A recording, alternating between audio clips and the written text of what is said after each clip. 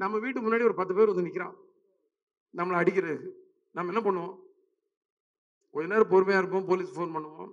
எதுவும் வரல. அவங்க கூட்ட உடைக்க போகிறாங்கன்னா உள்ளேருந்து அருவாமனை உலக்க உரல் எல்லாத்தையும் எடுத்துக்கிட்டு நம்ம தயாராகி அடிப்போம். இந்த மாதிரி ஒரு மூடில் தான் அவர் படம் முழுதும் அட்டன் பண்ணியிருக்காரு. அதாவது ஒரு பிரச்சனை அதை எப்படியாவது ஃபேஸ் பண்ணியே ஆகணுன்ற கோணத்தில் எல்லாம் விரட்டி விரட்டி அடிச்சிருக்காரு. துரத்தி துரத்தி வெட்டியிருக்காரு. கதற கதற போட்டு என்னென்னமோ பண்ணியிருக்கிறாரு. எல்லாரையும் போ- ஏன்னா அந்த மாதிரி படமே வந்து கதையை வந்து பரபர பரபரப்புன்னு நீங்கள் டீசர் பார்த்துருப்பீங்களா ஒரு சின்ன ஒரு பரபரப்பு இருந்துச்சு. ஆனால் அந்த பரபரப்பு படத்தில் இருந்துக்கிட்டே இருக்கும்.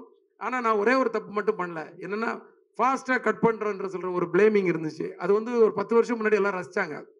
இப்போ வந்து நான் கொஞ்சம் லோக்கலில் எல்லா ஏரியாலையும் போய் ஒரு டீ கடை வரைக்கும் போய் இல்லை ஒரு ஆட்டோ டிரைவர் வரைக்கும் போய் எல்லார்ட்டையும் வந்து ஒரு ஐடியா கேட்பேன் நான். எப்படி இருந்துச்சு? என்ன மைனஸு ஏன்னா நம்ம ஓடின படம் ஓடாத படம் எல்லாமே எடுத்திருக்கோம். ஸோ ஓடாத படத்தில் இல்லை இல்லை ஏதோ ஒரு விஷயம் எப்படி பிடிக்குதா பிடிக்கலாங்கும் போது அதை ஃபாஸ்ட்டாக கட் பண்ணுறீங்க சார். அது வந்து இப்போ கொஞ்சம் எங்களுக்கு இன்ட்ரெஸ்டாக இல்லை அப்படிங்கும்போது சரி அப்போ எப்படி படத்தை ஃபாஸ்ட் பண்ணும்போது இந்த ஸ்க்ரீன் ப்ளே வந்து ஃபாஸ்ட் பண்ணிட்டார் செம்ம பேஸில் இருக்கும் ஸ்க்ரீன் ப்ளே அதில் ஒரு முக்கியமான சீக்வன்ஸ் தான் இந்த சிங்கிள் ஷாட் ஃபைட்டு அதை பற்றி தேவி சார் தான் அதுக்கு முதல் ரசிகர்னு நினைக்கிறேன். ஏன்னா முதல்ல வந்து எடிட்டர் பார்த்து கட் பண்ணி அவர்கிட்ட தான் ஃபஸ்ட் ஃபஸ்ட்டு காட்டினேன். பார்த்த உடனே அவர் வந்து ரொம்ப மெஸ்மரைஸ் ஆகிட்டார் சரி அப்போ நம்ம ஏதோ கொஞ்சம் வேலை செஞ்சுருக்கோம் போல இருக்குன்னு என்னென்னா இந்த சிங்கிள் ஷாட் வந்து எதுக்காக எடுத்தேன்னா வேணும்னு எடுக்கலை. கண்டிப்பாக சிங்கிள் ஷாட்டில் எடுக்கணும்னு முதல்லலாம் தோணலை. அந்த ஸ்க்ரீன் ப்ளே பண்ணி ஒவ்வொரு ஃபைட்டும் ஒவ்வொரு மாதிரி எடுத்துகிட்டு வரணும்போது இது வந்து ஒரு சீன் ஒன்று ஆரம்பித்து அந்த சீன் வந்து அப்படியே ஃபைட்டாக கன்வெர்ட் ஆகி அந்த ஃபைட்டு சேசிங்காக மாறி அதில் மூணு வண்டி பிளாஸ்ட் ஆகி நாலாவது வண்டி துரத்திட்டு வரும்போது இந்த ஹீரோவும் ஹீரோயின் போகிற அந்த வண்டி வந்து ஒரு ஃபாரஸ்ட்குள்ளே போய் அது வந்து டிஸப்பியர் ஆகும்போது அந்த கடைசியாக துரத்திட்டு வந்த வண்டி கூட அந்த ஃப்ரேமில் போயிட்டுருக்கணும். இது எல்லாமே சிங்கிள் ஷாட்டாக இருக்கணும் அப்படின்னு டிசைட் பண்ணோம்.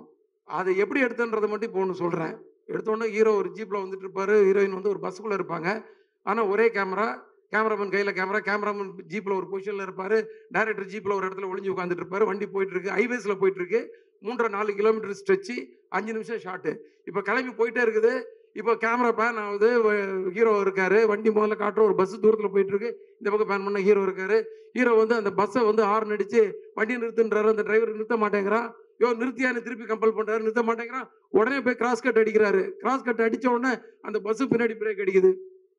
இப்போ கேமராமேன் கையில இருந்து கேமராமேன் அசிஸ்டன்ட் கிட்ட கேமரா மாறுது. அவர் அதை எடுத்துட்டு வெளியே போயிட்டு இருக்காரு. இவர் கீழே இருந்து இறங்கி வராரு. இப்போ கேமராமேன் கையிலுக்கு கிட்ட வருது. கேமராமேன் அந்த கேமரா கையில வாங்குறாரு. இப்போ டைரக்டர் ஓடி போய் இன்னொரு வண்டியில போய் மாஸ்டர் கூட போய் இருக்கிறாரு. அங்கிருந்து அவர் மாஸ்டர் கிட்ட இருந்து அங்கிருந்து மைக்கில் இருந்து கமெண்ட்ஸ் கொடுக்குறாரு. இப்போ இவர் நடந்து போறாரு. அந்த கொஞ்சம் ஃபாஸ்டா பேசணும்னு நினைக்கிறேன். ஆனால் வரமாட்டேங்குதே. இதோட ஃபாஸ்டா பேச முடியுதோ? ஸோ மே பஸ்ஸுக்கிட்ட போறாரு. போய் வந்து அந்த படியில் ஏறுறாரு. ஸோ காம்போசிஷன் வைஸ் லோவாக இருக்கக்கூடாதுன்றக்காக ஒரு செட்டர் ஸ்டெண்ட் வந்து அங்கே வந்து ஒரு ஸ்டூலை கொண்டு வந்து போடுறாரு. அது மேலே கேமராமேன் ஏறி சின்ன கரெக்ட் காம்போசிஷனில் வைக்கிறாரு. அங்கே ஒரு சீன் ஒன்று போகுது. கடைசியாக அவங்கள கன்வின்ஸ் பண்ணி கூட்டிகிட்டு கீழே இறங்கி வராரு. இறங்கி வந்து இங்கே வந்து திரும்பி பார்த்தாச்சுன்னா ஹைவேஸில் ஆப்போசிட் ட்ராக்ல ரெண்டு வண்டி வருது. அது வில்லன் குரூப் ட்ராக்கு ஒரு பதினஞ்சு ஃபைட்டர்ஸ் வராங்க. இப்போ இறங்கி ஓடி போய் வண்டியில் போய் ஏறுறாங்க. வண்டியில் போய் ஏறின உடனே அதுக்குள்ளே அந்த ஜீப் வந்து பக்கத்தில் நிற்குது பதினஞ்சு ஃபைட்டர்ஸ் இறங்குறாங்க. இறங்கி ஃபைட் ஆரம்பிக்குது. ஒவ்வொருத்தனையும் அடிக்கிறார். எடுத்தவன ஒருத்தனை பிடிச்சி வச்சு நெஞ்சில் கத்தி எடுத்து குத்தி மற்றவனெல்லாம் த்ரில் ஃபுல்லாக பார்த்து ஒவ்வொருத்தனையும் எட்டி உதைக்கிறாரு மிதிக்கிறாரு குத்துறாரு அடிக்கிறாரு. ஆனால் எட்டி உதைக்கும் போது அவன் பறந்து போனோம். என்னன்னா ஒரு ஃபைட்டர் அடிச்சதுக்கப்புறம் அப்படி திரும்பி கேமரா அப்படி திரும்பி வரும்போது எல்லாமே சிங்கிள் ஷாட் கேமரா திரும்பி வர்றதுக்குள்ள அவர் வந்து அந்த ரோப் எடுத்து ஊக்க மாட்டிக்கிட்டு ரெடியாக இருக்கணும் அந்த ஃபைட்டர் அந்த ஃபைட்டர் மிதிக்கும் போது ஃபைட்டர் மாஸ்டர் அசிஸ்டன்ட் வந்து கரெக்டாக இழுக்கணும். மாஸ்டர் அந்த கமெண்ட் வந்து இன்னொரு வேனில் உட்காந்து கொடுக்கணும்.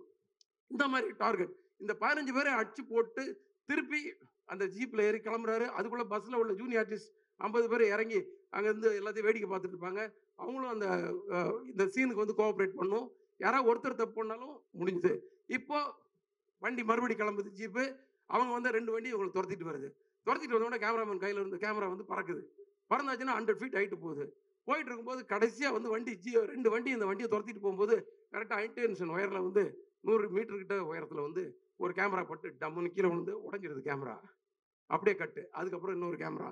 இன்னொரு இது. சேம் ப்ராசஸ் அந்த ப்ராசஸில் இப்போ திருப்பி அந்த ஒயரோட ஹைட்டை மெஷர் பண்ணி எயிட்டி ஃபீட்டு ஹைட்டில் hundred metre hundred feet hundred metre கிடையாது ஹண்ட்ரட் ஃபீட் எயிட்டி ஃபீட் ஹைட்டில் அந்த கேமரா போயிட்டு இருக்குது அங்கே போயாச்சுன்னா ரெண்டு வண்டி துரத்திட்டு போகுது. ஆப்போசிட்டில் ரெண்டு வண்டி வருது. இந்த வண்டியை மறிக்குது. இந்த வண்டியை மறித்த உடனே நின்று அங்கே வந்து வண்டி முன்ன பின்ன போகுது. இந்த வண்டி குறுக்க வருது அந்த வண்டி ஒன்று ஒன்று இடிக்குது. அங்கே இருக்க ஃபைட்டர்ஸ் ஜிம் பாய்ஸ் எல்லாம் மேலே ஏறி இந்த வண்டி மேலே வந்து வெட்ட வராங்க குத்த வராங்க டம் விட்டு கண்ணாடி உடைக்கிறாங்க எல்லாம் பண்ணுறாங்க அது மீறி அடிச்சு தூக்கிட்டு இந்த வண்டி கிளம்புது. இது கிளம்புறதுக்கு முன்னாடி கேமரா மேலே இருந்த கேமரா கீழே வருது. கேமராமேன் எப்படி கையில் பிடிச்சாருன்னு தெரியல. பிடிச்சிட்டு அங்கேயும் இங்கேயும் ஓடுறாரு. சுற்றி சுற்றி சுற்றி ஓடுறாரு. கடைசியில் இந்த ஜீப்புக்குள்ளே போய் உட்காந்துக்கிறாரு ஜீப்புக்குள்ளே போய் உட்காந்த உடனே வண்டி கிளம்புது. கிளம்பி பேன் பண்ணால் பின்னாடி நாலு வண்டி துரத்துது. துரத்துது துரத்து துரத்து ஒரு வண்டி வந்து ஒரு பெரிய போஸ்ட்ல அடிச்சு பிளாஸ்ட் ஆகுது. அது மட்டும் சிஜி பிளாஸ்ட் மட்டும் தான் சிஜி ஆனால் ஷார்ட் கட் ஆகலை. அதுக்கு அடுத்தது ஒன்று வந்து டாப்ல உள்ள போய் ஒரு காவாயில் போய் உழுது. ஒரு பிரிட்ஜுக்குள்ளே போய் உழுது. அந்த உழுறது மட்டும் சிஜி அதுக்கு அடுத்தது ஒன்று வந்து சென்டர் ஆஃப் த மீடியில் வந்து அடிச்சு நொறுங்கி அந்த வண்டி தீ பிடிக்குது. இதை தாண்டி அவர் எஸ்கேப் ஆகி போய் ஒரு ஃபாரஸ்ட்குள்ளே போகிறாரு இந்த மூன்றரை கிலோமீட்டரும் எங்களுக்கு கண்ட்ரோலில் வந்து அந்த ரோடு கிடச்சிது. எல்லா டெக்னீஷியனோட சப்போர்ட் கிடச்சிது. விஷாலுடைய அந்த டெடிகேஷன் இருந்துச்சு. ப்ரொடியூசரோட சப்போர்ட் எல்லாம். இது வந்து இதை சிங்கிள் ஷாட்டாக தான் எடுக்கணும் நீ. ஒரு பிடிவாதத்தோட நான் வந்து நிறைய பேர்கிட்ட பேசினேன். நிறைய டெக்னீஷியன்ஸை பேசினேன். நிறைய பேர் ஸ்டிச் பண்ணிடலாம் நாங்கள் முடியாதுண்ணே சில பேர் வந்து ரொம்ப ராவாக இருக்கும் சார் நாங்கள் ராவாக தான் சார் வேணும். ஆடியன்ஸ் ரொம்ப ராவாக தான் ரசிக்கிறாங்க இப்போது அதுக்கு நமக்கு வெற்றி மாறன் பாரஞ்சித் அவங்கெல்லாம் வந்து சில விஷயங்களை ராவாக கொடுக்குறத பார்க்கும்போது நிறைய படங்கள் பார்த்து நம்ம கற்றுக்கிறது தானே சார். அதுக்கெல்லாம் எனக்கு நல்ல எனக்கு நல்ல இது இருக்குது அதுக்கு ஒரு அடையாளங்களுக்கு எனக்கு டேரக்டர்ஸ் இருக்கிறாங்க. நீங்கள் ஒரு ராவாக ஒரு கண்டென்ட் கொடுத்தா ரசிக்க நம்ம படமே கமர்ஷியல் படம் தான். இருந்தாலும் ஒரு ஒரு கண்டென்ட் இப்படி கொடுக்கலான்னு எல்லார்ட்டையும் போராடினேன். போராடி போராடி கடைசியில் எனக்கு கண்ணல் கண்ணு மாஸ்டர் கிடைச்சாரு. நிறைய பேருக்கு அவர் சொன்ன உடனே சார் என்ன வேணாலும் பண்ணிடலாம். வாங்க சார். மாஸ்டர் அந்த ஃபைட்டை மட்டும் கம்போஸ் பண்ணி கொடுத்துருங்க. அடித்து முன்ன பின்ன நான் வச்சுருக்கேன். நீங்கள் உங்கள்கிட்ட சொல்கிறேன் நீங்கள் எடுத்துருங்க மாஸ்டர் ஸோ அவர் வந்து அது பண்ணிட்டாரு. ஸோ மனவலியோட தான் இந்த வேலைக்கே போனேன் நான். ஏன்னா இதை முடிஞ்சிருமா முடியாதான்னு சொல்லி திருப்பதியில் அதை ஷூட் பண்ணோம். அப்படியே மலையை பார்த்து அப்படியே நின்றுட்டு இருந்தேன். நைட்டு பத்தரை மணிக்கு. அந்த லொக்கேஷனை பார்த்தேன். வண்டியிலே வந்து ஸ்பீடா மீட்டரை பார்த்து மெஷர் பண்ணோம். மூன்றரை kilometre divided by seven seven sequence fifty every five hundred metres ஒரு சீக்வன்ஸு ஸோ டிவைட் இப்படி ஒரு கணக்கெல்லாம் போட்டுட்டு நைட்டு முடிச்சு காலையில் போனோம். விஷால் வந்தார். கட கட கடனி பிளான் பண்ணோம். ஒரு நாள் ஃபுல்லாக ரிஹர்சல் ரெண்டாவது நாள் மத்தியானம் மூணு மணிக்கு ஒரு டேக்கு அஞ்சு மணிக்கு அடுத்த டேக்கில் வந்து ஓகே ஆயிடுச்சு. ஸோ ஓகே ஆனதுக்கப்புறம் தான் வந்து அந்த மன வலியும் அந்த பெயினும் வந்து போச்சு. ஏன்னா நம்ம நினச்சதை சாதிச்சிட்டோம் அப்படின்ற மாதிரி. ஸோ இதை நான் எதுக்கு இவ்வளோ டீட்டெயிலாக சொன்ன கொஞ்சம் டைம் கூட நிறைய எடுத்துருப்பேன்னா இந்த மாதிரி ஒரு விஷயம் இல்லை. படத்தில் எல்லா விஷயத்துலையும் ஆடியன்ஸை மதித்து நாங்கள் நிறையா வேலைகள் செஞ்சுருக்கோம். அது வந்து நிச்சயமாக உங்களை வந்து சந்தோஷப்படுத்தும் திருப்திப்படுத்தும் நினைக்கிறேன். வேற எதுவும் நான் பேச விரும்பலை. நீங்கள் படங்களை பா படத்தை பாருங்கள் ப்ரெஸ் வந்து சப்போர்ட் பண்ணுங்கள் ஆடியன்ஸுக்கு கண்டிப்பாக பிடிக்கிற மாதிரி நிறைய விஷயங்கள் இருக்குது ஒரு சின்ன பெயினோட வருவீங்க கண்டிப்பாக வலி ஒரு மன ஒரு எமோஷனலாக வெளில வருவீங்க படம் பார்த்துட்டு. நம்பிக்கை இருக்குது நன்றி. நன்றி.